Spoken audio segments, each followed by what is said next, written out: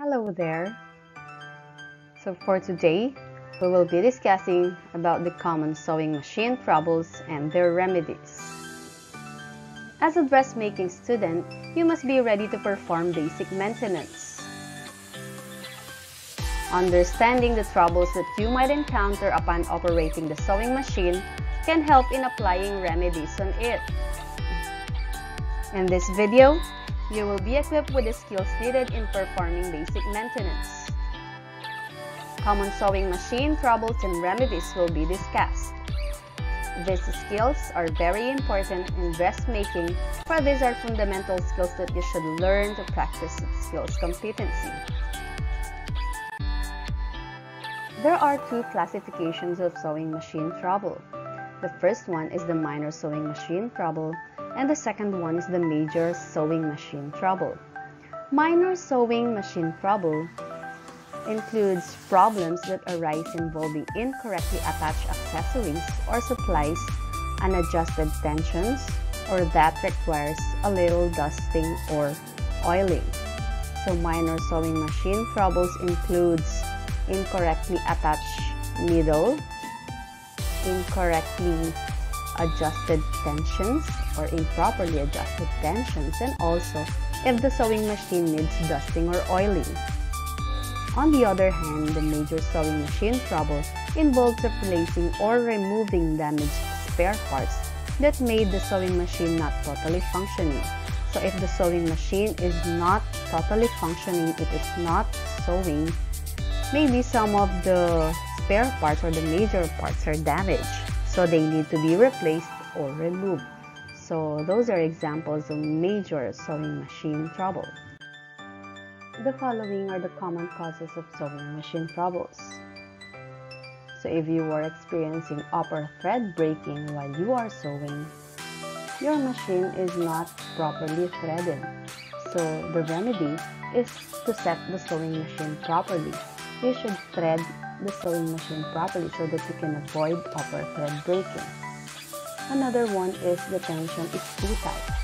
So if the upper tension is too tight, you should adjust the upper tension so that upper thread breaking will be avoided. The needle is bent. So if the needle is bent, of course, you need to change the needle. That is the remedy so that upper thread breaking will not happen. Another one is the thread is too coarse for the needle size. So the thread should match the needle size so that you can avoid upper thread breaking.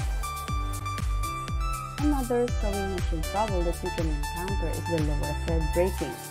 So if this happens, you might be having improper setting of the bobbin case on the shuttle, It's like what is shown on the video.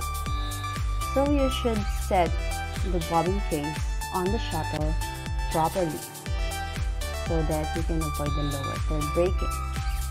Another cause is the tension is too tight. So if the lower tension on the bobbin case is too tight, you need to adjust it so that you can avoid lower thread breaking.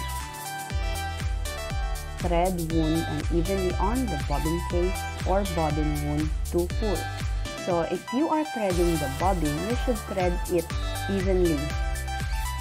And then you should not wind the bobbin too full so that you will not experience the lower thread breaking.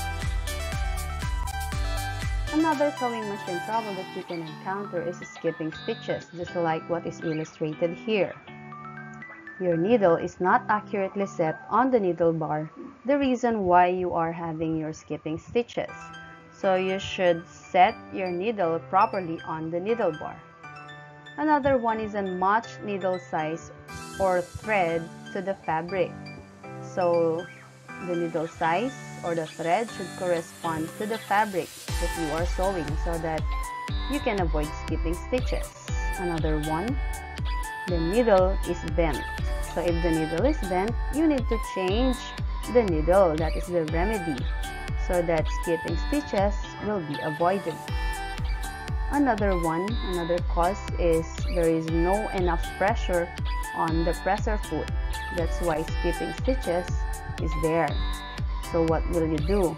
You need to adjust the thumb screw. so that enough pressure will be given to the presser foot while you are sewing on the fabric.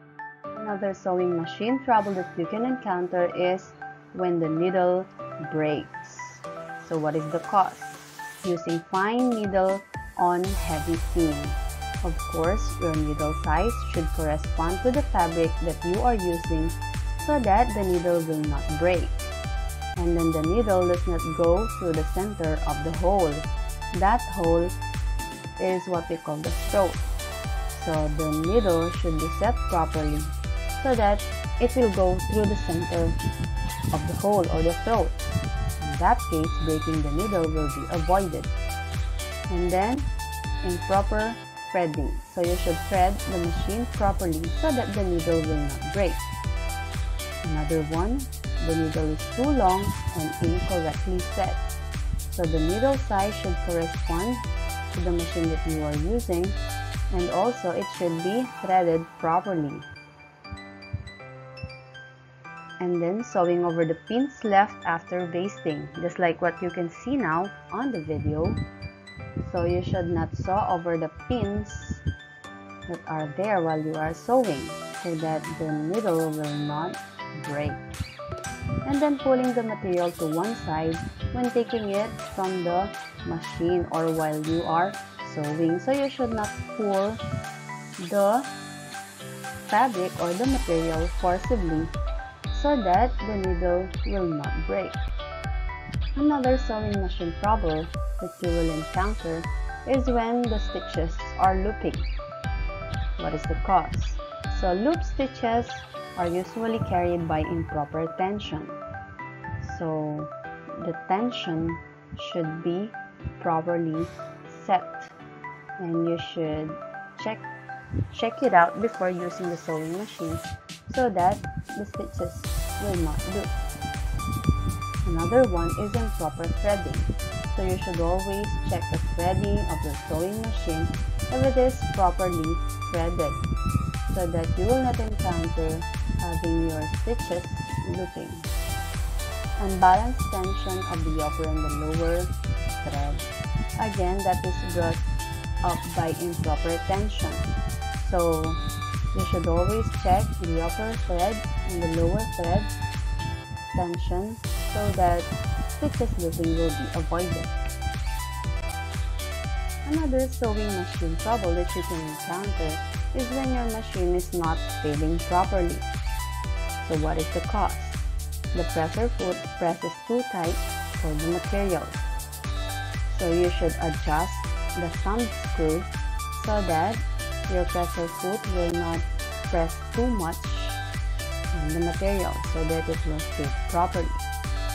Another one is the feed dog may be smooth. Okay, the feed dog is the ones that is arrowed there on the video. So it should not be smooth and to avoid that, whenever you are winding, you should have your presser foot lifted up so that your feed dog will not be smooth and your machine will feed properly. Another machine trouble is when your machine is working heavily. So it might be gummed and need a general oiling so you should clean and oil your sewing machine regularly so that your sewing machine will uh, not work heavily. Another one is the belt may be too tight, hence exerting excessive pressure on the bearing. So the belt should not be too tight nor not too loose so that your machine will work properly.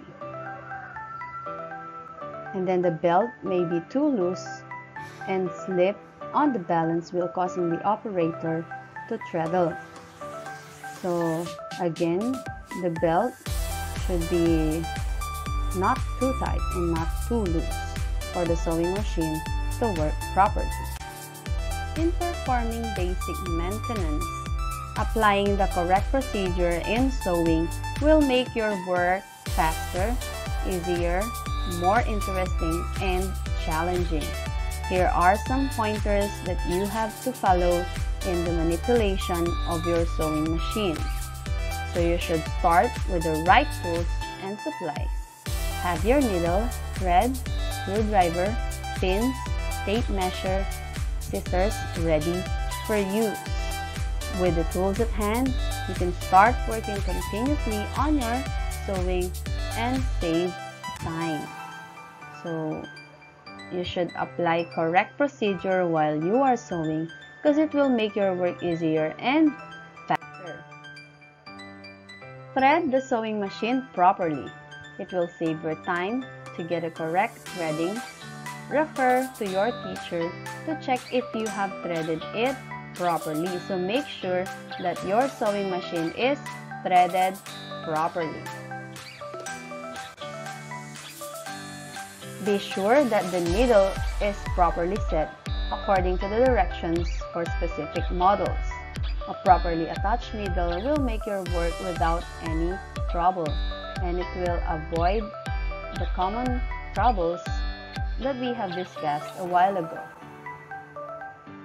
Set the stitch regulator according to the project specification and test the stitches for possible adjustment.